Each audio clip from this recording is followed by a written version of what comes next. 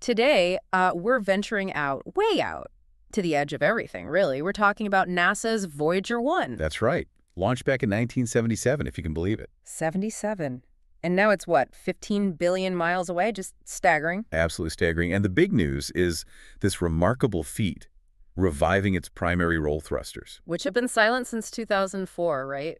Two decades. Exactly. Silent for 20 years, and now, somehow, they're back online. It really tells you something about, well, the ingenuity needed for these missions, doesn't it? Keeping things running over that kind of distance and time. It's mind-boggling. We're talking about coaxing 1970s technology back to life from, you know, interstellar space. And Voyager's legacy is already huge. Those Jupiter and Saturn flybys, iconic images. Absolutely foundational. And now it's our only probe, actually, in interstellar space, the Ah. only direct messenger we have out there. So it's sending back unique data, but uh, communicating with something nearly 50 years old, 15 billion miles out, that must be incredibly difficult.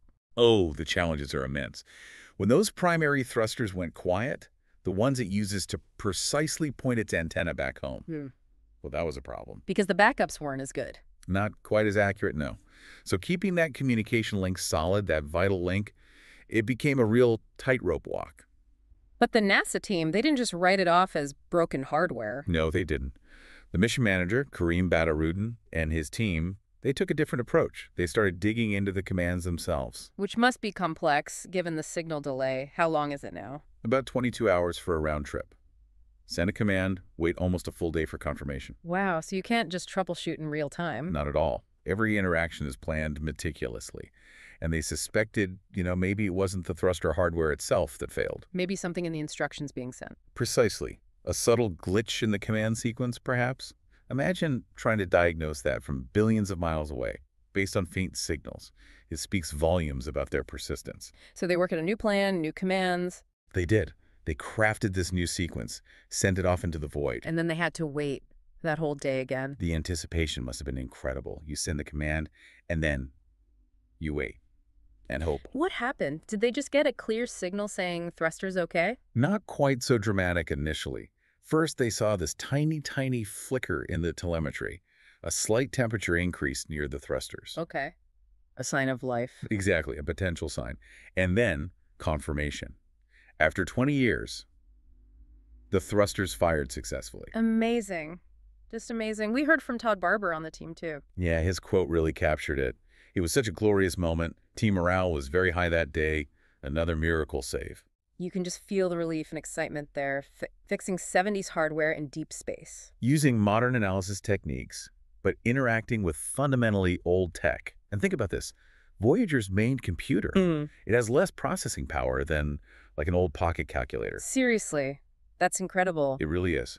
Testament to brilliant, efficient engineering back then, designed to last. And keeping it going now, it's more than just nostalgia, isn't it? Why is it still so important? Oh, absolutely vital. Voyager 1 is our only instrument directly sampling the interstellar medium, the space between stars. So the data it sends back is completely unique. Completely. It's teaching us about the environment outside our solar system's protective bubble, the heliosphere, and those lessons are crucial for planning future missions that might go even farther. So reviving these thrusters isn't just a quick fix, it could extend the mission. Potentially, yes. It could mean Voyager keeps sending back this invaluable data well into the 2030s, more years exploring the unknown. It's just a fantastic story, really. Perseverance, clever thinking, against incredible odds. It really is.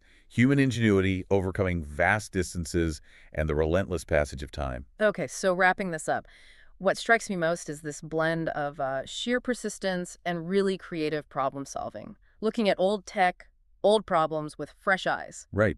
Not just giving up when something seems stricken beyond repair. Yeah. And it makes you think, doesn't it? If we can solve that kind of problem across billions of miles with decades old gear, what other challenges that seem completely impossible right now, maybe in medicine or energy or anywhere? What could we tackle if we brought that same focused, relentless, inventive spirit to bear? Exactly. Something definitely worth pondering.